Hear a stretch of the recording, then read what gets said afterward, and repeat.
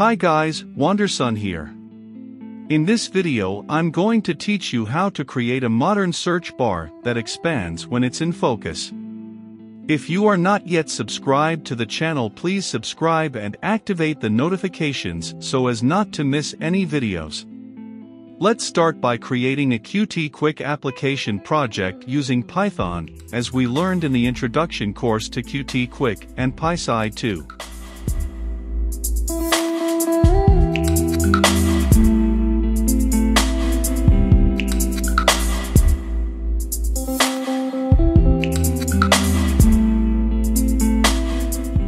I'll start by organizing the project by separating the QML and images files in separate folders, right after changing in the Python main file the interface's initialization path.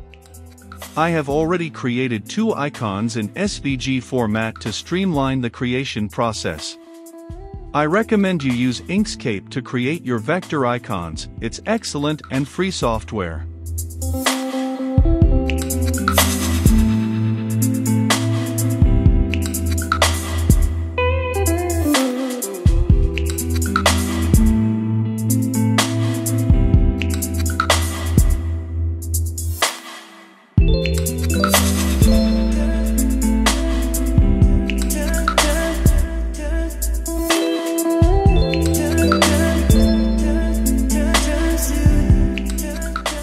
To start I will start by changing the background color of the application and its dimensions. I usually use Photoshop or even the color picker function of Qt Creator itself.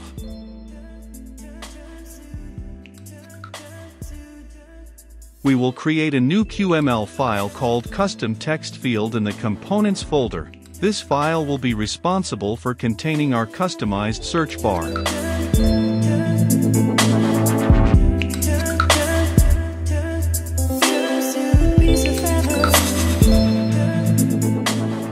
I will change the visualization to 300 wide and 40 high and import Qt Quick Controls 2.15 into the project.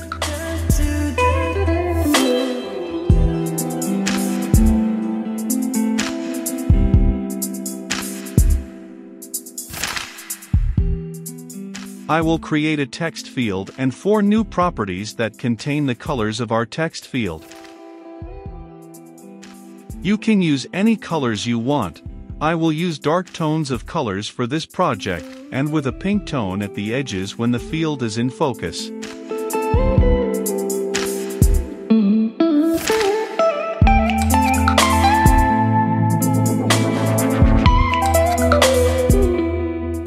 Add a placeholder to the project and change the font as shown in the video.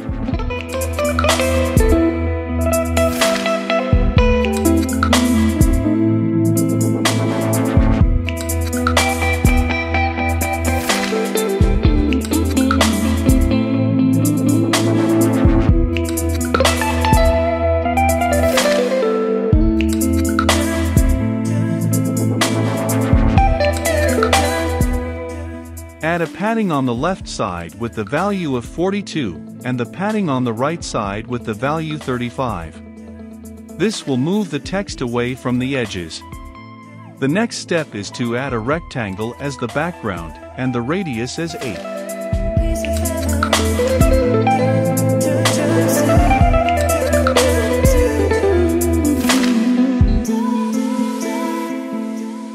Once this is done, create an image that will contain the magnifying glass icon of our text field.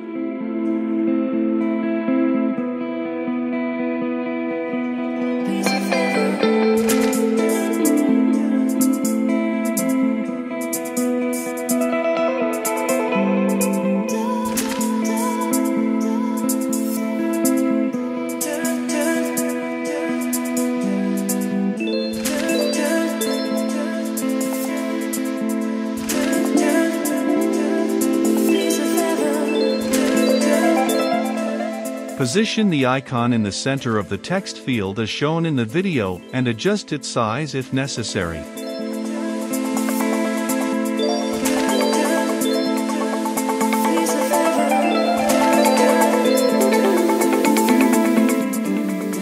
In the main.qml file we will import Qt Quick Controls 2.15 and also the folder that contains our custom text field. Remember that the name of these QML components must always start with a capital letter.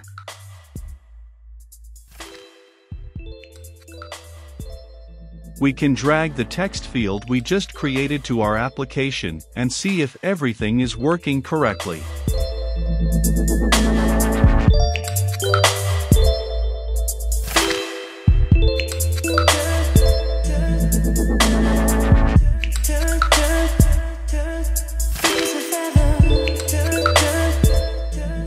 The next step is to identify when our field is in focus it will expand to the value we set, and when it loses focus it will retract.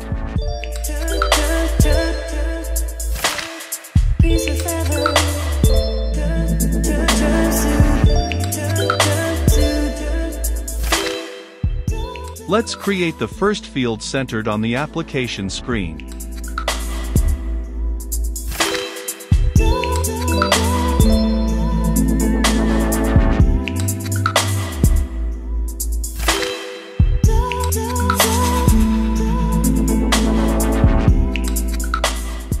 I will also add a standard text field for reference only and also to be able to change the focus of the main field.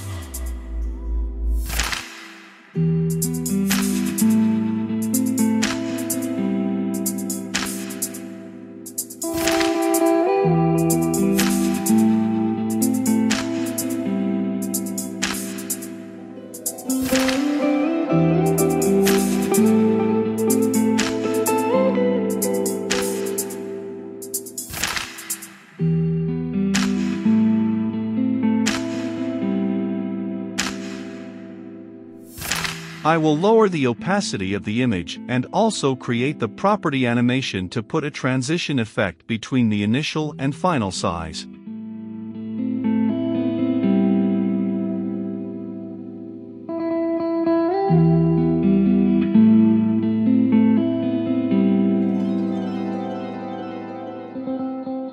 I will first just adjust the placeholder field correctly.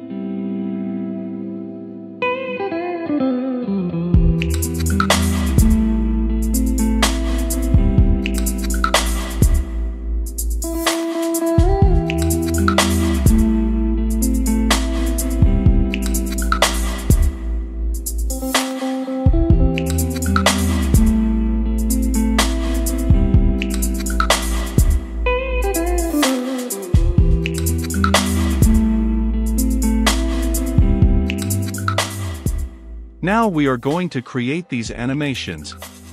Create a property animation as shown in the video where it will change the width to a value of 300 with a duration of 500 milliseconds.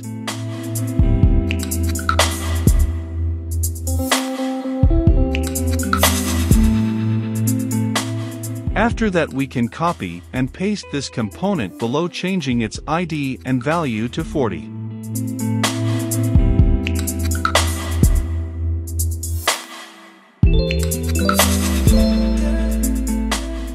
After that add this function in the parameter on focus changed, in if put text on focus running and in else, text lost focus running, both as true.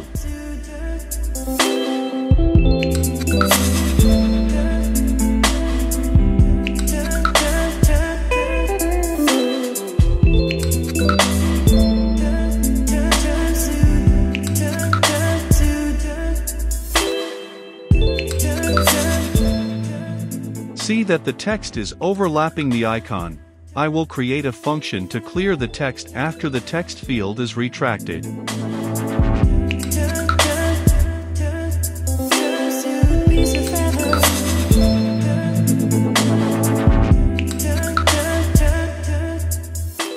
The next step is to create a button to clear the text after it is clicked.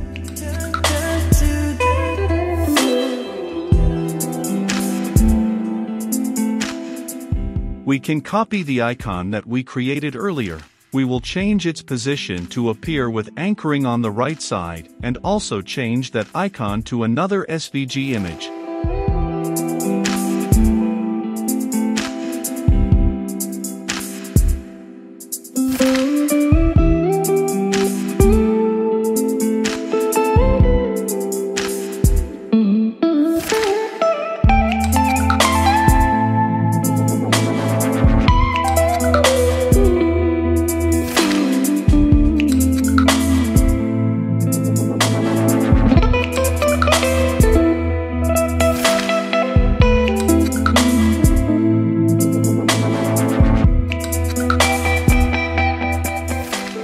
I will adjust the height of this icon and add a function so that it is only displayed when the text field is in focus.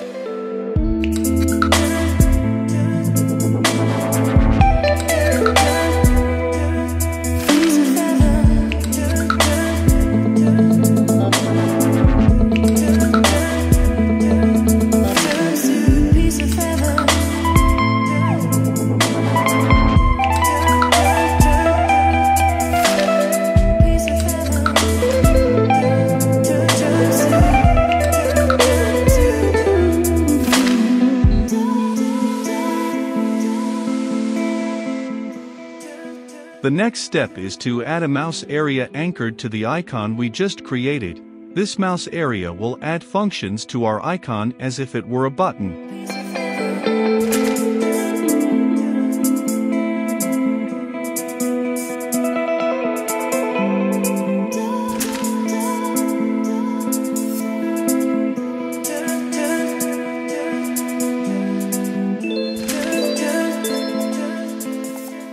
That the mouse area is hindering the click in the field.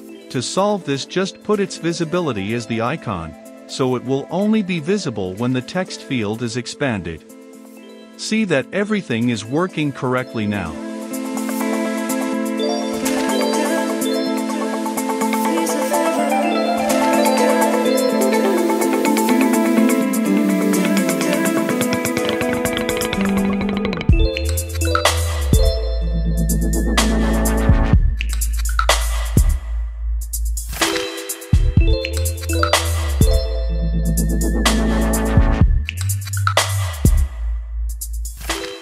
Next step is to create a Qt object to change the colors of the text field as the mouse is over it or even when it is focused.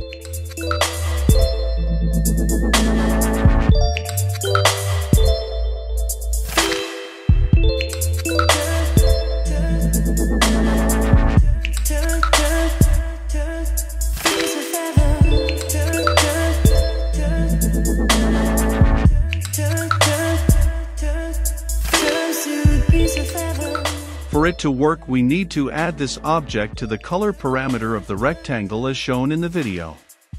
See that an error is generated because no standard colors were contracted. So create a function as shown to set the standard and mouse over colors.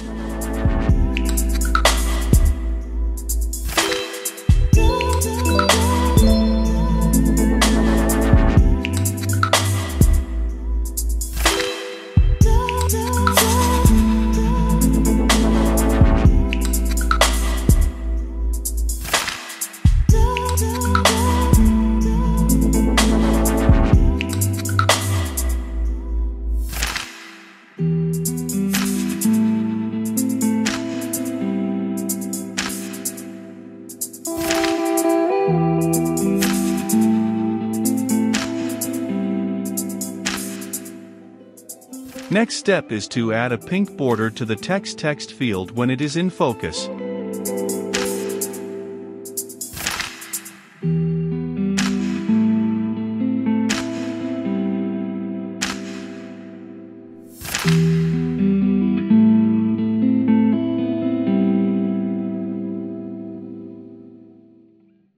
Component finished.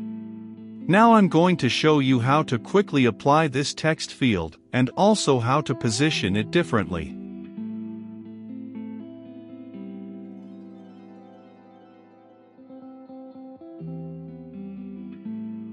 Create a copy of this component, change its ID, and immediately after that place it on the right side of the application as shown in the video.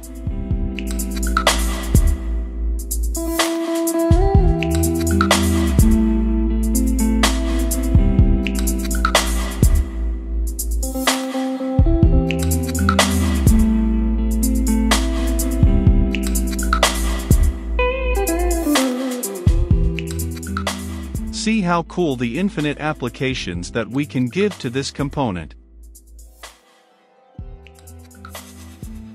Now I will give an example that when a text is typed and hit the return key on the keyboard, it will take the typed text and send it to the text field at the bottom of our application.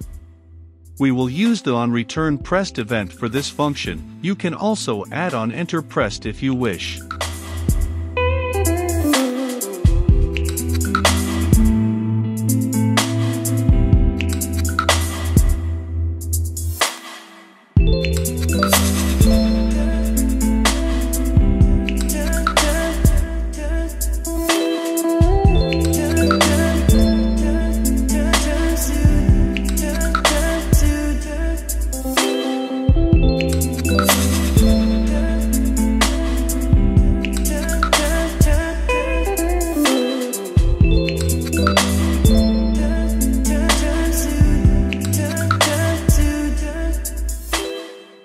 We finished here another video.